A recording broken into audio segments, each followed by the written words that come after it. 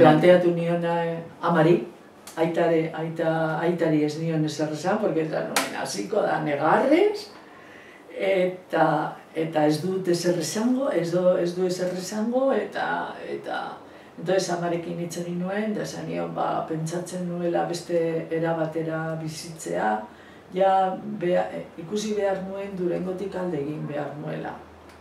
Eta, eta ama izan zidan ulertzen zuela, porque ni oso gustora ningoen etxean. Ni ez, ez, ez dut, igual, eh, esaten didatenean, movimiento feminista, ba, igual eh, nintzen behartuta sentituz etxean bizi nuen giroa, askatasun Hmm. giroa zan.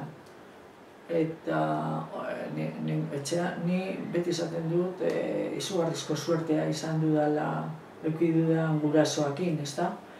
Eta amak esan zidan, inkluso ni pentsatu nuen harinago joango zinela etxetik.